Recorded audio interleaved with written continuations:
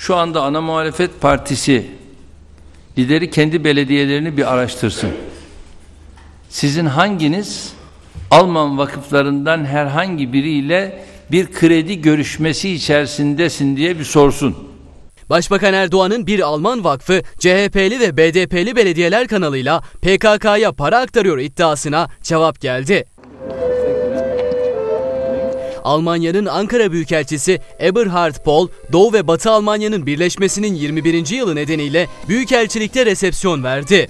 Ladies and gentlemen, dear guests, Resepsiyonda Başbakan Erdoğan'ın iddialarını değerlendiren Pol, Alman vakıflarının Türkiye'nin birçok yerinde faaliyet yürüttükleri her bir faaliyetin de hükümetin bilgisi dahilinde olduğunu söyledi. steht im Zeichen des 50. Jahres. Alman Büyükelçi Pol, projeler için başvuru hazine tarafından yapılıyor. Uygun bulmamız halinde hazine ile kredi anlaşması imzalanıyor. Hazinede finansmanı proje yürüten yerel yönetime bu parayı aktarıyor. Her proje için iki hükümet arasında bir anlaşma imzalanıyor dedi.